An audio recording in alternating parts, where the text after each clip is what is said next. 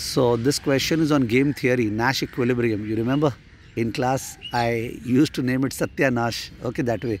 That uh, uh, in a world with information asymmetry, where people are not aware of what the competitor will do, people tend to take actions which are actually not good for both of them okay anyways let's leave those theme behind and let's focus on the table so you are given the payoff table the profit that each party will gain depending upon what other party will do okay? And the way to think about is this way. Suppose we are company xyz so you focus on the blue decisions. Company xyz we are company xyz now we have to take a decision whether we should charge a low price or high price depending upon what abc will do. So case 1 suppose abc will charge a low price. So you are supposed to look at the first row. First row. Abc will charge a low price. Okay look at the first row I hope you understand what is row, left to right, low row.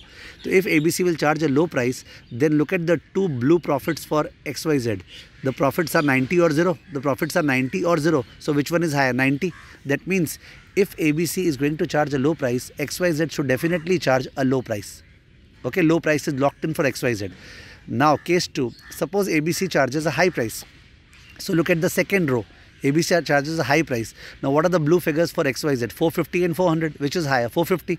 So once again if ABC charges a high price, XYZ should charge a low price. So irrespective of whatever ABC does, XYZ should charge a low price. XYZ should charge a low price. Okay.